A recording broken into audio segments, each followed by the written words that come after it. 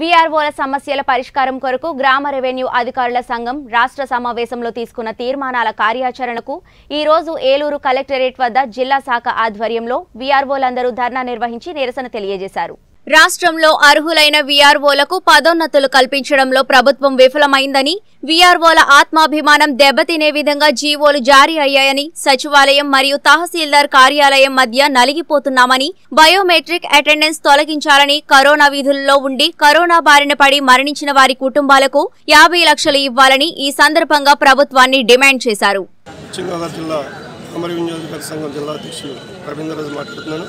ముఖ్యంగా మా రాష్ట్ర సంఘ పిలుపు మేరకు ఈరోజు రాష్ట్ర వ్యాప్తంగా పదమూడు జిల్లాల్లో కలెక్టరేట్ల వద్ద ధర్నా కార్యక్రమం నిర్వహించాం.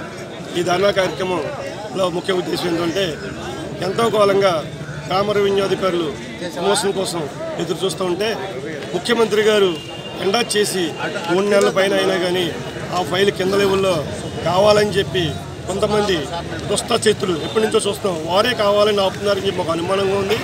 ఈ అనుమానాన్ని మేము నివృత్తి చేసుకోవడం కోసం ముఖ్యమంత్రి గారికి తెలియజేయడం కోసం రాష్ట్ర వ్యాప్తంగా మొన్న విజయవాడలో జరిగిన రాష్ట్ర స్థాయి సమావేశంలో మొన్న ఐదో తారీఖు నుంచి ఒట్టు రోజులు అలాగే సెలవు దినాల్లో ఎవరు పనిచేయద్దు ఈ రోజు ధర్నా కార్యక్రమం అలాగే ఒకటో తారీఖు మళ్ళీ రాష్ట్ర సమావేశంలో పెట్టి మా సమస్యలు తీర్చకపోతే కనుక మేము రాష్ట్ర వ్యాప్తంగా ప్రత్యక్ష ఉద్యమానికి కూడా సిద్ధమవుతాం తెలియజేశాం ముఖ్యంగా బీఆర్ఓలందరూ కూడా గ్రామ స్థాయిలో ఎనభై శాతం విధులు మేమే నిర్వహిస్తాం.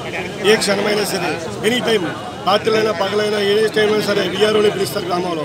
అటువంటిది మమ్మల్ని గ్రామస్థాయిలో విఆర్ఓలు ఉండలేదు సచివాలయాలు అని చెప్పి కొంతమంది దుష్ప్రసారం చేసి ప్రభుత్వానికి మా విఆర్ఓలు దూరం చేయాలని చూస్తున్నారు. మేము ప్రభుత్వానికి ఎప్పుడు సానుకూలంగా ఉంటాం. ప్రభుత్వానికి మేము ముఖ్య గ్రామ స్థాయిలో జిల్లాలో కలెక్టర్ ఎంతో గ్రామ స్థాయిలో విఆర్ఓ అంట. అటువంటి విఆర్ఓ వాళ్ళు కావాలని కొంతమంది దుస్థితులు ప్రభుత్వాన్ని దూరం చేద్దామని చూస్తున్నారు. మేము ప్రభుత్వానికి ఎప్పుడు అనుకూలమే. ఆ దుష్టశక్తుల్ని గ్రహించి ప్రభుత్వం ఆలోచించి విఆర్ఓల యొక్క సమస్యలు ముఖ్యమంత్రి గారి వెంటనే తీరుస్తారని చెప్పి మేము కోరుకున్నాం గ్రామ సచివాలయంలో విఆర్ఓ బయోమెట్రిక్ విధానం పెట్టారు. బయోమెట్రిక్ విధానం ఎవరు వ్యతిరేకం కాదు. కానీ బయోమెట్రిక్ విధానం అనేది ఉదయం పది గంటలకేసి ఫీల్డ్కి వెళ్తాం. ఆరు గంటలకే వెళ్తాం. కాదు కూడదు పది గంటలకు ఐదు గంటలకు ఏమని చెప్తారు? తహసీల్దార్ పిలిచారు. ఇవాళ నర్సాపురం సబ్ కలెక్టర్ గారు పిలిచారు. ఏమని? పీఓఎల్ఆర్ అని. పీఓఎల్ఆర్ ఒక రోజులో అయిపోద్దండి. ల్యాండ్ రికార్డ్స్ ఒక రోజు అయిపోయా? ఎన్నో సార్లు చేసాం. ఈ వ్యవస్థ నడుస్తూనే ఉంటుంది. అటువంటిది ఈ రోజు కూడా మీటింగ్ పెట్టి మీరు వెళ్ళొద్దు పీఓఎల్ఆర్ రమ్మంటారు. ఒక రోజులో అయిపోద్దండి. అక్కడికి వెళ్తే విఆర్ఓ లేరంటారు. ఎంత దుర్మార్గం అండి.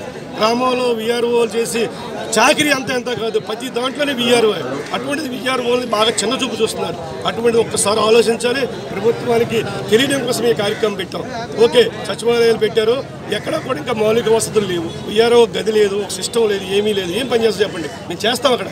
పది గంటలకేసి ఎంఆర్ఓ రమ్మంటే ఎంఆర్ ఆఫీస్కి వెళ్ళాలి. పిఆర్ఓ గ్రామాల్లో ఉండలేదని చెప్పి ఈ లోపల కలెక్టర్ గారు జేసీ గారు అందరూ తిరుగుతున్నారు.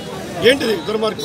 ఒకసారి ఆలోచన విఆర్ఓ సస్పెండ్ చేయడం విఆర్ఓల పట్ల వెక్స చూపించడం చాలా దారుణమైన పరిస్థితి. కొన్ని శక్తులు. ఈరోజు విఆర్ఓలకి తహసీల్దారు ఒక మాకు జీతాలు ఇచ్చేవారు మొన్నటిదాకా గ్రేడ్ టూ వాళ్ళకి మొన్న ప్రొఫెషన్ వచ్చిన వాళ్ళకి పనిచేస్తాం ఇప్పుడు మాకు డీడీఓ కింద పంచాయతీ సెక్రటరీని పెట్టారు. సెక్రటరీ గారు నిన్న కాక మొన్న వచ్చారు. కొన్ని ఏరియాలో అంటే అందరిని అంటలేదు కొంతమంది సీనియర్టీ లేదు. వాళ్ళు జీతాలు ఇచ్చి సర్పంచ్ సెలవు ఇస్తారంట సర్పంచ్ సెలవు ఇచ్చడం అంటే చాలా ఇది దౌర్భాగ్యకరం. ఎందుకంటే సర్పంచ్ని మేము వ్యతిరేకించట్లేదు. ఎంత సర్పంచ్ ఎంతో గ్రామస్థాయిలో ప్రతి లీడర్ అంతే. కానీ సర్పంచ్లు సెలవు ఇవ్వడం ఉద్యోగ హక్కులు కానరాస్తాయని మా ఉద్దేశం. సర్పంచులు సెలవు ఇవ్వడం కానీ ఇటువంటి మేము వ్యతిరేకిస్తున్నాం. ఎందుకంటే సెలవులు తహసీల్దార్ వసీలు మాకు వన్ టెన్ జీవోలు సర్పంచ్ సెలవులు పెట్టారు. అది కరెక్ట్ కాదు. ఇప్పుడు డీడీఓ పంచాయతీ సెక్రటరీగా జీతాలు ఇస్తారంట. అది ఎంతవరకు సంబంధం? ఒక్కసారి ఆలోచించండి. మళ్ళీ సర్వీస్ మేటర్స్ మాకు అగ్రిమెంట్ కావాలన్నా ఏం కావాలన్నా మళ్ళీ మా ఎంఆర్ఓ గారు ఇస్తారంట. ఈఎల్ ఆయన దగ్గరికి వెళ్ళాలంట సీఎల్ ఈయన దగ్గరికి వెళ్ళాలంట. ఎండిఓ మీటింగ్ పెడతాడు ఎండిఓ రమ్మంటారు ఎంఆర్ఓ రమ్మంటారు ఎక్కడికి వెళ్ళాలి? అసలు వ్యవస్థ ఎక్కడికి పోతుంది? ఒక్కసారి ఆలోచించండి. మేము ప్రభుత్వానికి మా ప్రధాన డిమాండ్ ఎప్పటి నుంచో ప్రమోషన్లు అనేది పూర్వమైన డిమాండ్. ఆ డిమాండ్ ముఖ్యమంత్రి గారు మాకు మేనిఫెస్టోలో పెట్టారు. ఆ మేనిఫెస్టోలో ప్రకారం ఆయన తప్పే లేదు ఆయన ఎండా చేశారు. సీఎం పర్మిషన్ స్టాటర్ కింద ప్రకారం ఇప్పుడు ఎంతమంది ఉన్నారు అంతమంది స్టాటర్ కింద ప్రకారం ఇమ్మని చెప్పి చెప్పారు. ఆయన ఎండా చేసిన ఫైల్ కిందకు వచ్చి మూడు నెలలు అయింది. ఫైనాన్స్లో ఉంటుందంటారు జీఏడి అంటారు ఏంటి? మా నాయకులు రాష్ట్ర రోజు తిరుగుతూనే ఉంటారు. చాలా దుర్మార్గం. అంటే ఇక్కడ ఎవరో అడ్డుపడుతున్నారని చెప్పి మా యొక్క ఉద్దేశం. అది ముఖ్యమంత్రి గారు గ్రహించాలని చెప్పి అన్ని జిల్లాలో ఈ కార్యక్రమం పెట్టుకోవడం జరిగింది. అలాగే జీతాలు కూడా ఒక్కసారి ఆలోచిస్తుంది ఎందుకంటే తహసీల్దారులు అంటే సర్వీస్ మ్యాటర్స్ ఒకరు చూసి లీవులు సర్పంచ్ సీఎల్ ఇచ్చి డీడీఓ పంచాయతీ సెక్రటరీతో కరెక్ట్ ఒక సిస్టమ్ నడుస్తుంది రెవెన్యూ సిస్టమ్. రాజశేఖర రెడ్డి గారి మానస పుత్రిక. ఎందుకంటే వ్యవస్థను నిర్వీర్యం చేసేసిన గత పట్టవారి పటేల్ వ్యవస్థ తీసేసిన తర్వాత రాజశేఖర రెడ్డి గారు తీసుకొచ్చి వ్యవస్థనే విఆర్ వ్యవస్థను తీసుకొచ్చారు.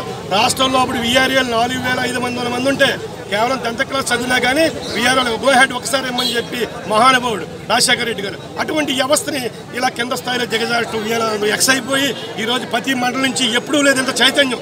మేము పెట్టగానే ఇంతమంది ఎప్పుడు రాలేదు.